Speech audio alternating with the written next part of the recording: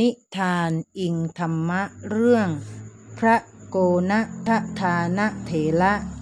วันชนะกับพินไพเราะไปงานแต่งงานเพื่อน ซึ่งจัดในสวน สีของไฟตามจุดต่างๆ และไฟประดับต้นไม้ทำให้บรรยากาศสดใส เด็กหญิงเล็กๆ แต่งตัวน่ารักเหมือนนางฟ้า สวมชุดกลับโปรงฟอ พองฟูกับเพื่อนอีกคนกำลังดึงเชือกลูกโป่งที่ผูกตามเก้าอี้เล่น พลางส่งเสียงหัวเราะชอบใจ เสียงเพลงจากนักสีไวโอลิน แววหวานทำให้ค่ำคืนงดงาม พินไพเราะรู้สึกเพลิดเพลินกับบรรยากาศยามค่ำวันชนะเดินมาที่โต๊ะ พร้อมกับเครื่องดื่ม แล้วนั่งลงเล่า ให้ฟังว่าไปแกล้งเพื่อนเจ้าสาวคนหนึ่ง โดนทำตัวเป็นแฟนเก่า ให้คู่มั่นของเพื่อนหึงเล่น พินไพเราะบอกว่าเป็นเรื่องไม่ดีที่ทำอย่างนั้น เดี๋ยวเขาเกิดไม่เชื่อใจกันทีหลัง จะเดือดร้อนวันชนะยักษ์ไหลล้อเล่นน่ะ ก็บอกความจริงไปแล้วว่าไม่ใช่ ตอนนี้เขาก็ยอมรับละว่าเธอไม่ใช่ แต่วันหลังอาจจะมีอะไรสะจิกสะกิดใจทำให้เขาคิดว่า เธออาจจะแกล้งบอกว่าไม่ใช่ อะไรจะระแวงกันขนาดนั้น อย่างนี้เป็นแฟนกันยาก วันชนะยังไม่ยอมแพ้ บาปกรรมนะ พินไพเราะว่า วันชนะมองหน้าอย่างสงสัย พินไพเราะหัวเราะเบาๆ เดี๋ยวจะยกตัวอย่างในนิทานให้ฟังนะ มีพระรูปหนึ่งชื่อ โกณททานะ พอบวชวันแรก ก็มีคนเห็นว่า มีผู้หญิงคนหนึ่ง เดินคอยตามท่านอยู่เสมอ เวลาคนตักบาตรเขาก็จะบอกว่า ให้ทานส่วนหนึ่ง อีกส่วนหนึ่งให้ผู้หญิงที่ติดตามท่าน วันชนะงง แล้วผู้หญิงไปตามท่านทำไมล่ะ พินไพเราะ หัวเราะเบาๆ พางสายหน้า ไม่มีผู้หญิงติดตามท่านจริงๆหรอก เป็นภาพลวงตา ถ้าตัวท่านเองไม่เห็นแต่ใครๆ จะเห็นอย่างนั้นกันหมดทำไมถึงเป็นอย่างนั้นล่ะ วันชนะเริ่มสนใจ เป็นเพราะกรรมที่เคยทำมาน่ะ เป็นกรรมเก่าตั้งแต่สมัยที่ยังมีพระพุทธเจ้า พระนามว่ากัสปะ เป็นพระพุทธเจ้าองค์ก่อนหน้าพระพุทธเจ้าของเราองค์นี้นะ โอ้โห นานจัง วันชนะร้อง สมัยนั้นมีพระสองรูปเป็นเพื่อนกัน สนิทสนมกลมเกลียวกันเหมือนพี่น้องเลย วันหนึ่ง ก็จะไปทำอุโบสถ เดินเดินไป พระองค์หนึ่งก็ปวดท้อง ขอหลบไปนั่ง หลังพุ่มไม้ทำธุระหน่อย อีกองค์ก็ยืนคอย ตอนนั้นมีเทวดาคนหนึ่ง มีเทวดาตนหนึ่ง ก็เห็นพระสองรูปนี้สององค์นี้ สนิทสนมกันจัง อยากให้แตกแยกกัน เอ เทวดาเกเรวันชนะว่า พอพระทำธุระเสร็จเดินกลับออกมา เทวดาก็ปลอมตัวเป็นผู้หญิงสาว สวยเดินตามออกมาทำเป็นจัดผ้าจัดผ่อนเกล้ามวย ผมใหม่ ให้เรียบร้อย แล้วก็เดินแยกไป พระที่ยืนคอยเห็นอย่างนั้น ก็ว่าท่านผิดศีลแล้ว เห็นกับตานี่ พอไปที่โรงอุโบสถ ก็ไปเล่าให้ใครๆฟัง แล้วไม่ยอมร่วมอุโบสถด้วยแล้ว ไหนว่ารักกันยังไงล่ะ วันชนะเน็บ ทีนี้เทวดาเห็นท่าไม่ดี เรื่องชักจะไปกันใหญ่ วุ่นวายไปทั้งโรงอุโบสถ เลยเหาะมาปรากฏตัวเล่าความจริงให้ฟัง จนเรื่องสงบลง แต่พระทั้งสองยังไม่ค่อยสนิทใจกันดีเท่าไหร่ พอตายลง พระสององค์ก็ไปเกิดในเทวโลก แต่เทวดาสิตายลงไปตกนรกอยู่นาน นานถึงพุทธันดรหนึ่งเลย นานเท่าไหนล่ะ วันชนะถามพุทธันดรหนึ่งน่ะ พุทธันดรหนึ่งก็จากพระพุทธเจ้าองค์หนึ่ง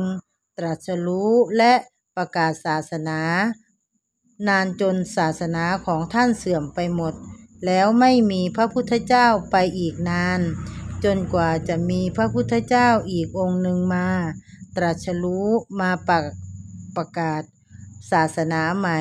เรียกว่านานมาก นานนานเลยทีเดียวละโอ้โห ตายเลยวันชนะกลาง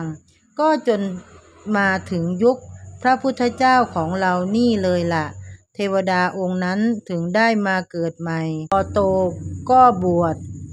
พอบวชก็มีคนเห็นว่ามีผู้หญิงมาเดินตามต้อยๆ พอใครๆเห็นอย่างนั้นก็นึกรังเกียจไปฟ้องอนาถบินททิกะเศรษฐี เจ้าของวัดเชตวัน ให้ไล่พระโกนาทธานะออกไปจากวัด เศรษฐีถามว่า ระพุทธเจ้าประทับอยู่ไม่ใช่หรือ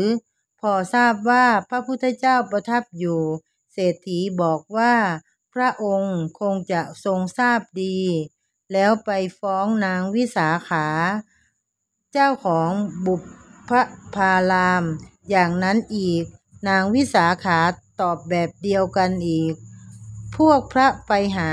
พระเจ้าประเสที่โกศลขอให้ไล่ออกจากแคว้น อะไรจะขนาดนั้น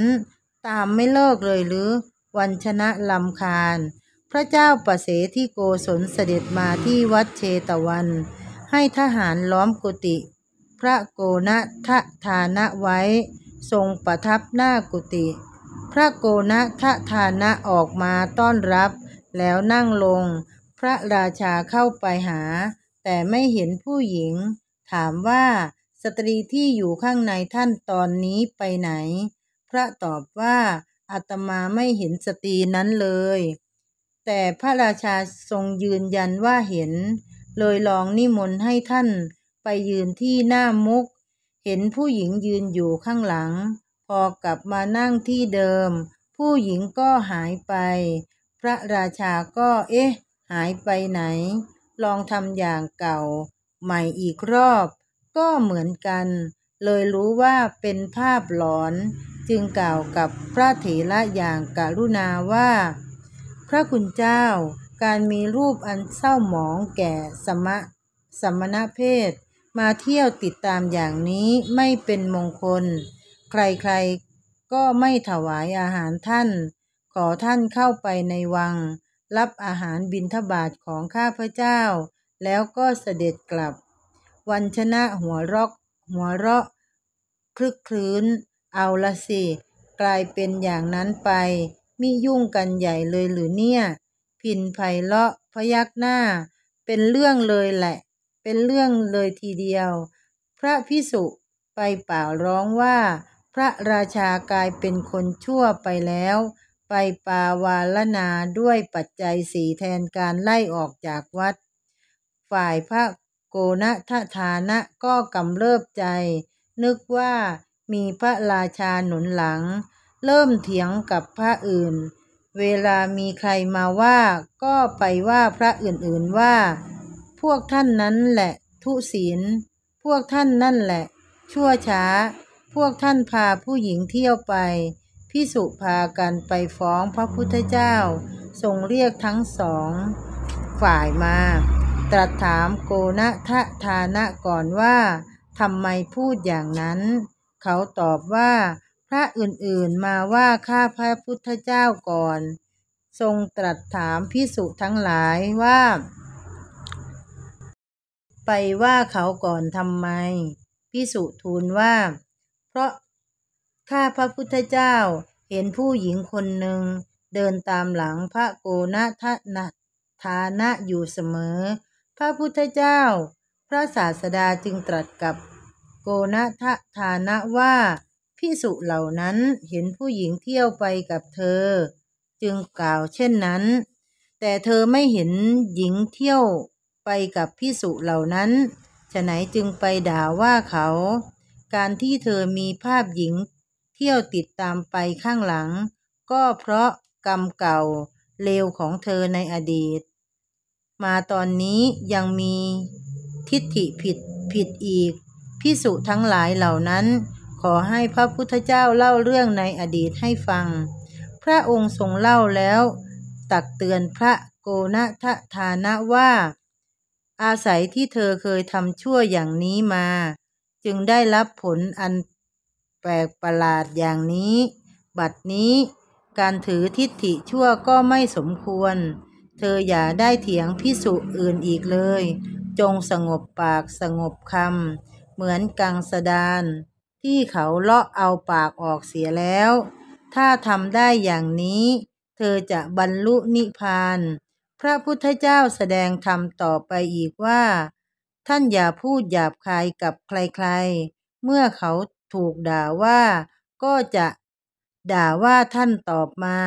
การพูดจาแข่งดีกันนั้น เป็นเหตุให้เกิดทุกข์ โทษต่างๆ หวนกลับมาถูกท่าน ถ้าท่านทำตัวไม่ให้หวันไหว อยู่อย่างสงบเสงี่ยม ไม่มีปากไม่มีเสียง เหมือนกังสดานปากขาดแล้ว ท่านจะถึงนิพพาน การพูดแข่งดีก็ไม่มีแก่ท่าน พระโกณท ฐานะอยู่ในโอวาทของพระพุทธเจ้า ไม่นานนักก็บรรลุเป็นพระอรหันต์แฮจริงเหรอ วันชนะกึ่งดีใจกึ่งสงสัย พินไพเราะตอบว่า จริงสิ เราก็เอามาใช้ได้เหมือนกัน บางทีมีปัญหาอะไร ถ้าเราสงบใจได้ อย่าไปสนใจปัญหานั้น มุ่งแต่งานที่เป็นจุดมุ่งหมายของเราไป งานของเราก็สำเร็จได้อย่างที่ตั้งใจไว้ ส่วนปัญหานั้น ให้การเวลาเป็นคนจัดการแทนเราไป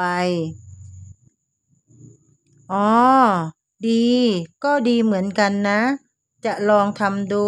แต่ไม่รู้จะสำเร็จหรือเปล่า วันชนะทำท่าตรึงตรอง ยังไงก็อย่าไปแกล้งใครเขาเล่นอย่างเรื่องนี้ก็แล้วกัน คนแกล้งหนะสนุก แต่คนที่โดนแกล้งเขาไม่สนุกด้วยหรอก เขาลำบาก วันชนะแกล้งทำหน้างอ ที่โดนย้อนกลับมา ต่อว่าอีกครั้ง ที่ไปแกล้งเพื่อน พินไพเราะหัวเราะเบาๆ ยื่นแก้วเครื่องดื่มให้แล้วว่า อ้าว ปลอบใจ กินแล้วเปลี่ยนเป็นคนดีซะ ก็จบทินิทานอิงธรรมะสำหรับทุกคน ใครได้ฟังก็ขอให้เจริญทั้งทางโลกทางธรรม สมหวังในเรื่องการงานการเงินและความรักสวัสดีค่ะ